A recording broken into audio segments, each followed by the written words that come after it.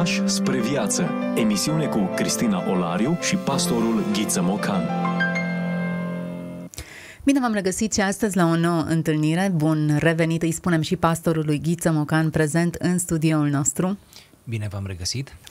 Ne bucurăm să continuăm o discuție pe care am inițiat-o în episodul trecut despre un împărat roman, dar care era adeptul unui curent de filozofie, stoicismul, și pe marginea acestui uh, curent a scris o lucrare pe care am lecturat-o și noi, a ajuns și în mâinile noastre, Gânduri către sine însuși este volumul pe care l-a scris și pe care noi l-am uh, citat. Câteva cuvinte despre acest împărat roman pentru cei care nu au urmărit episodul trecut. S-a născut într-o familie senatorială în anul 121, s-a stins în anul 180. Avem de-a face așadar cu un împărat scriitor de secol II după Hristos.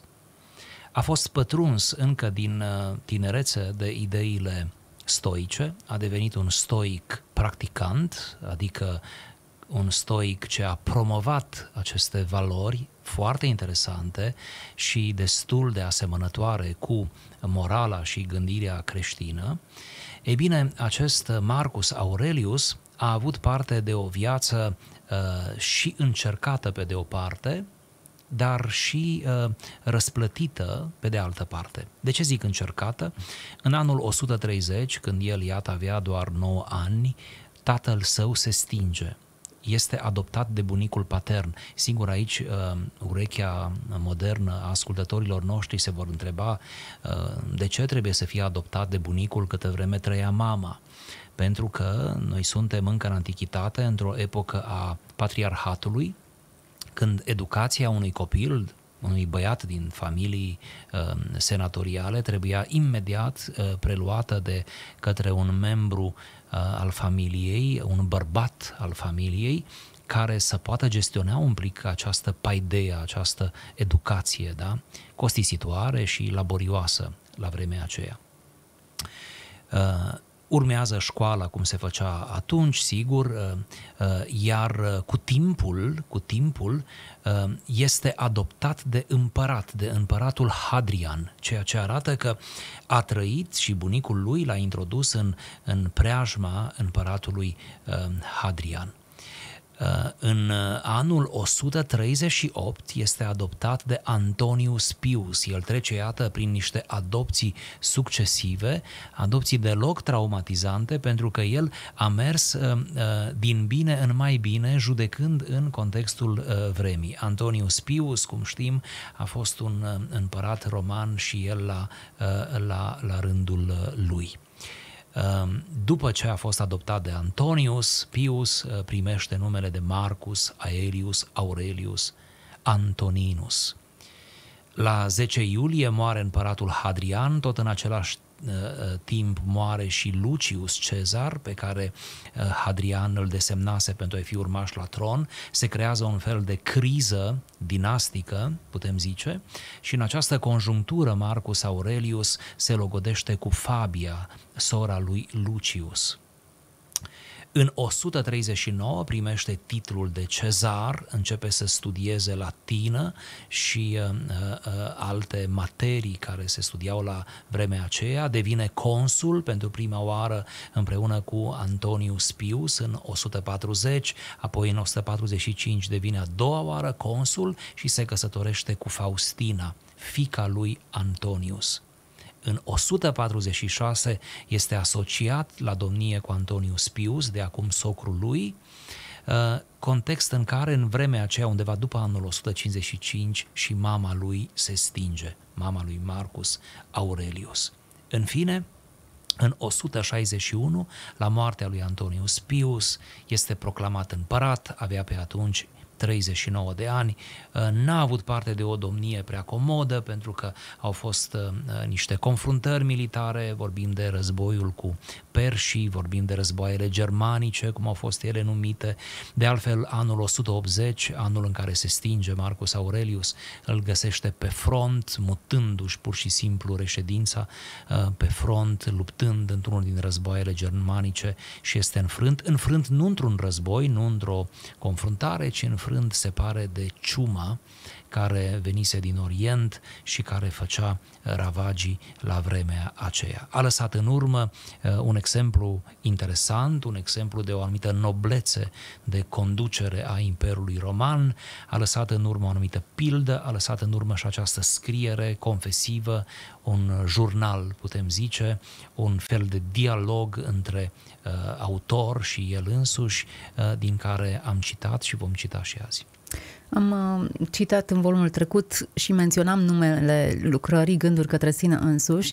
Uh, nu m-am gândit că a avut tenta unui jurnal, ci mai degrabă m-am gândit că este o invitație la autoanaliză, la reflexie, la pur și da, simplu. aș spune că este și și. Vedeți, noțiunea aceasta de jurnal, la vremea aceea în antichitate, nu era atât de circumscrisă cum este astăzi, ci uh, mai ales și poziția lui nu politică uh, atât de însemnată, îi dădea cumva aplombul acesta.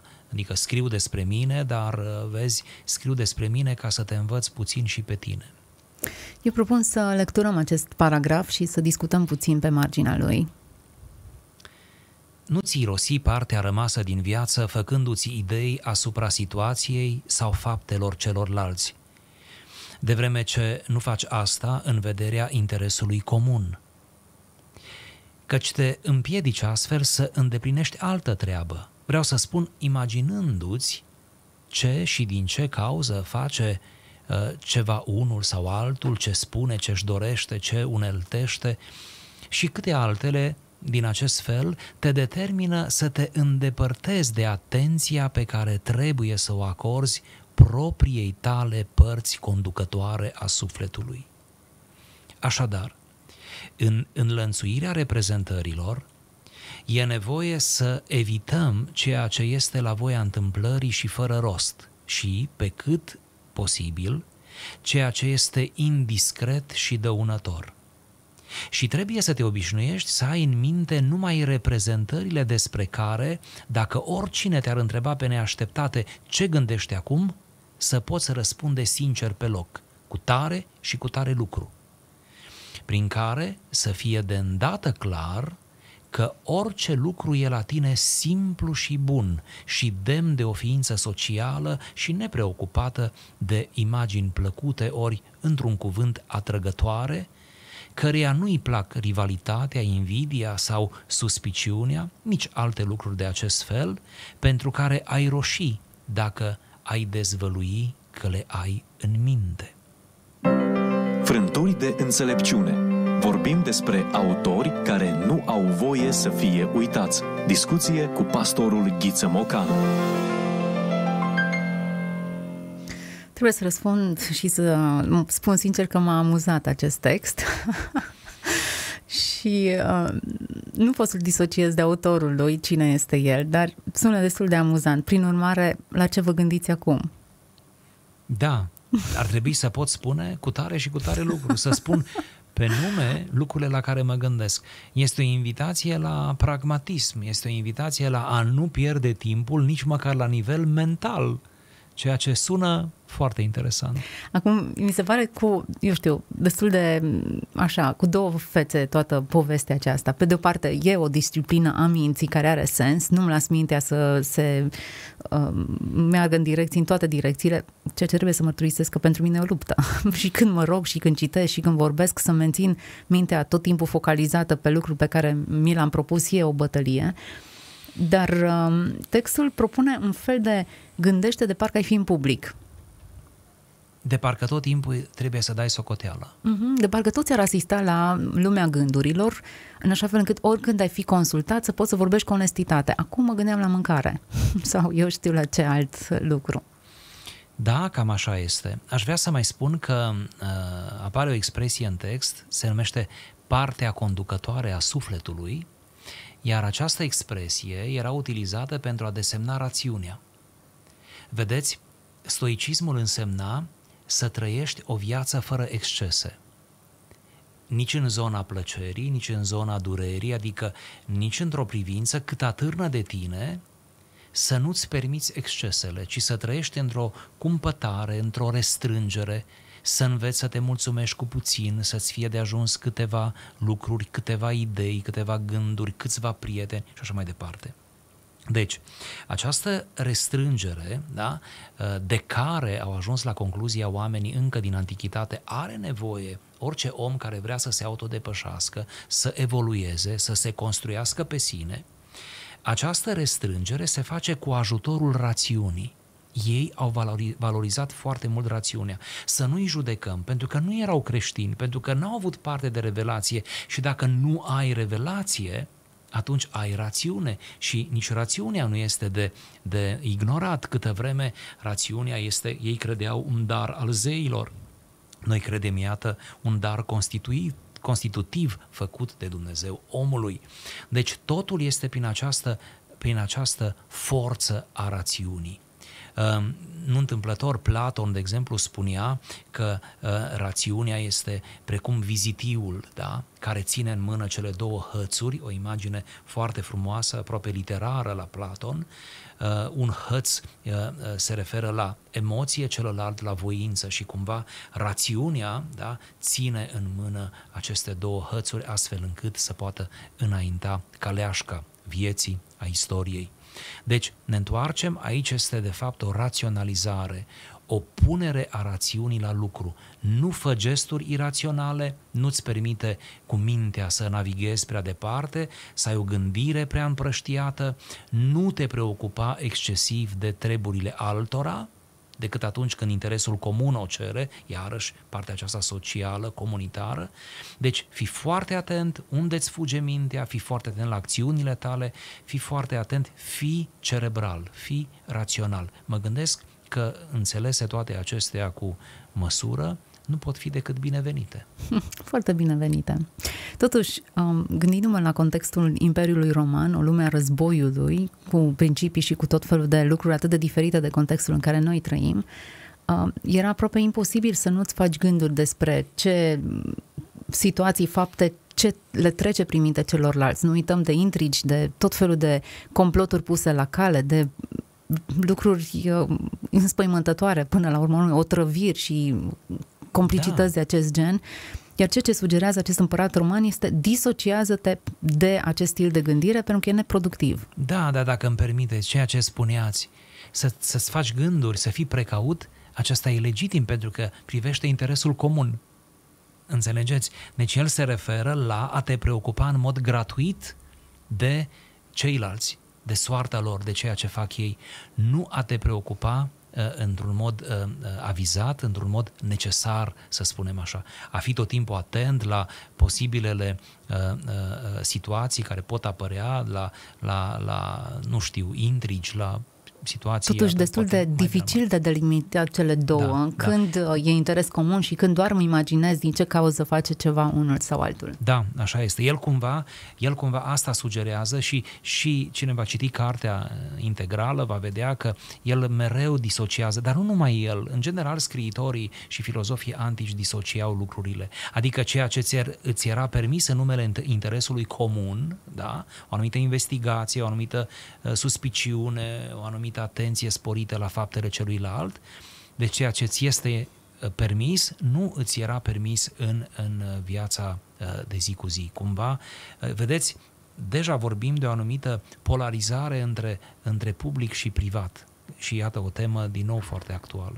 Acum, plasează în opoziție două tipuri de valori. Orice lucru care e simplu, bun și demn de o ființă socială, nepreocupată de imagini plăcute, Uh, într-un cuvânt atrăgătoare, în, în uh, raport, în opoziție cu rivalitate, invidie, suspiciune. Da, așa este. E finalul textului pe care noi l-am lecturat. Da.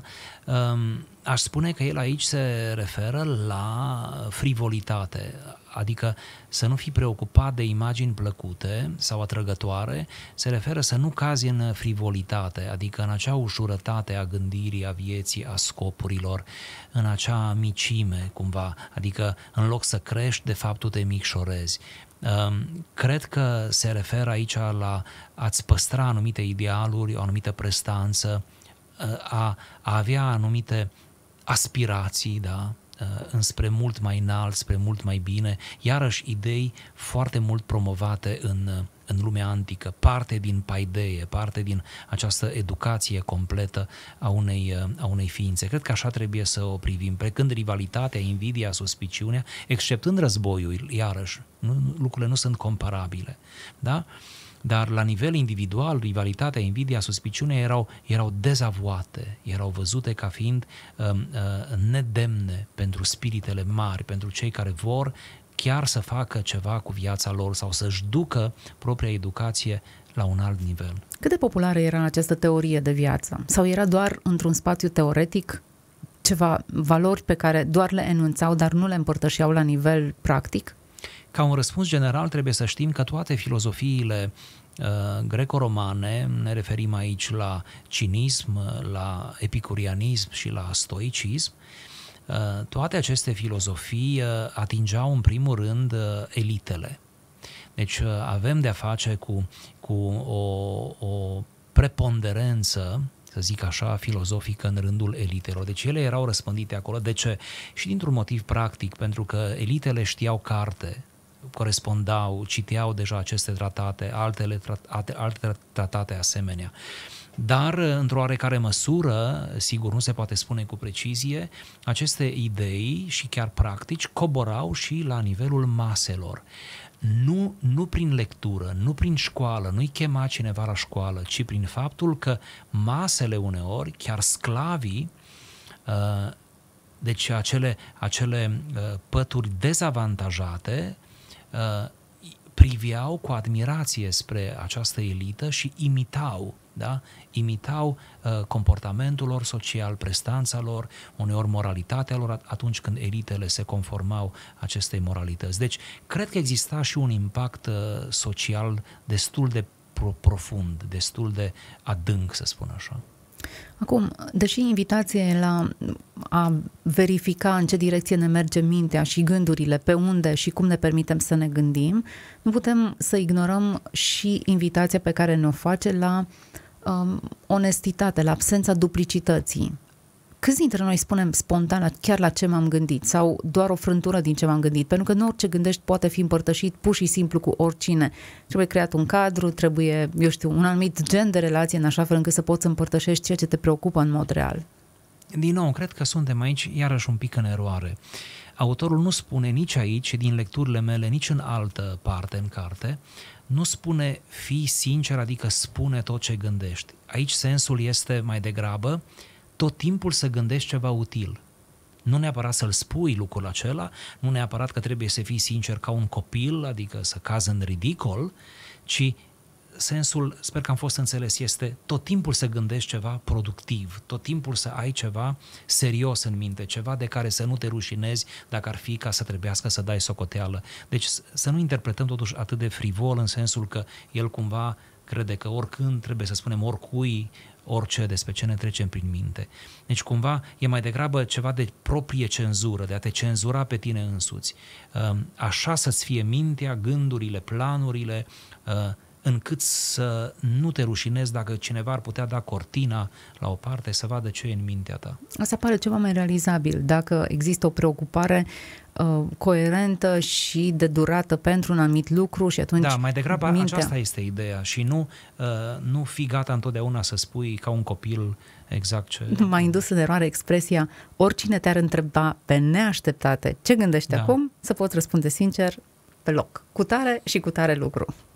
Da, da. Și aici se subînțelege cu tare sau cu tare lucru în condițiile în care nu e ceva atât de intim da? și ceva ce se poate spune, iarăși în folosul interesului comun. Ceea ce ne scapă nouă, nouă cititorilor de astăzi, poate când citim asemenea texte, este ceva ce nu prea mai avem, acest interes comun, această um, solidaritate socială pe care nu prea o mai avem sau o avem în virtual, ne-am mutat acolo, nici nu știu. Mm, în virtual și mai puțin decât în lumea reală. Prin urmare, ar trebui să definim și să subliniem acest interes comun. Există un interes comun față de care ar, ar trebui să mă disciplinez să gândesc. Da, Aristotel în uh, două tratate, cel puțin în două din tratatele lui, spune cu subiect și predicat că nu există, uh, nu există nivel mai înalt pe care îl poate atinge un om decât cel de cetățean al, al unei cetăți, a unui polis.